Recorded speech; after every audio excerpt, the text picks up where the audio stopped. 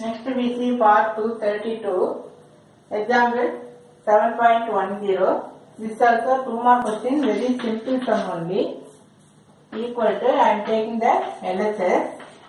1 plus secant theta எப்படி எழுதலாம் 1 by cos theta. We know secant theta equal to 1 by cos theta.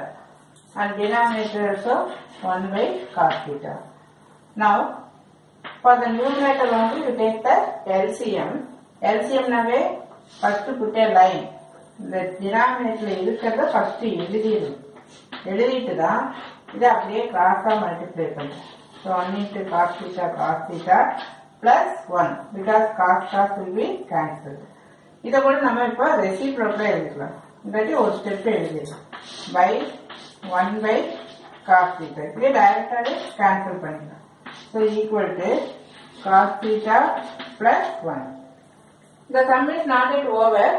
You have to take the conjugate. இப்போ conjugate எடுத்துக்கிறப்ப நமக்கு என்ன எடுக்கலாம் இந்த வேணா ஒன் பிளஸ் காஸ் தான் திருப்பி எழுதி திருப்பி எழுதிட்டு இதனுடைய கான்ஜுகேட் எடுக்கிறப்ப நம்ம எப்படி எழுதலாம்? One minus cos theta by one minus cos theta மேல பார்த்தீங்கன்னா A plus B into A minus B this is of the form A எப்பவுமே கான்ஜுகேட் எடுக்கிறப்ப அப்படிதான் வரும்.